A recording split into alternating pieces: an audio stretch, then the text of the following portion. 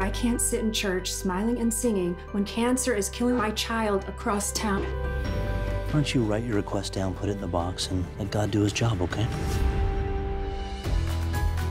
Someone put a package at my door. It was a miracle. For the first time in a long time, I have hope.